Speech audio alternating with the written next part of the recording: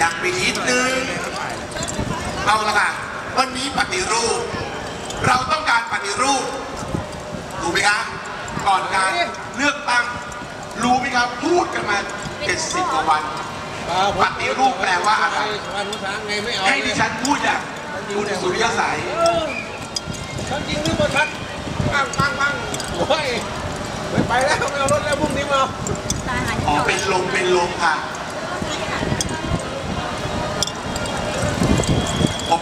ลมเป็นลมโอเคนึกว่าเกิดอะไรขึ้นอ้าว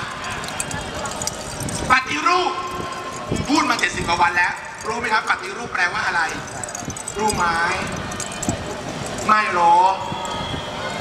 โรไม้โรวะ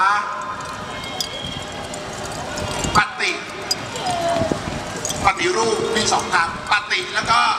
รูปรูปคือรูปแบบ ลับเข้าใจไหมครับที่ผ่านมาเราไม่เอา เราขอสวนกลับวนกลับนี่แหละครับปฏิรูป เราอยากเห็นประชาธิปไตยที่เต็มใบ ไม่ใช่บอกว่าเอะอะอะไรก็มาจากเลือกตั้ง เลือกตั้งฉันไม่เถียง แต่มาแล้วทำไม่ดี ควรอยู่ต่อไปหรือไหมครับพี่น้อง แล้วบอกว่าพวกเราเนี่ยละเมิด กฎหมายละเมิดสารรัฐธรรมนูญ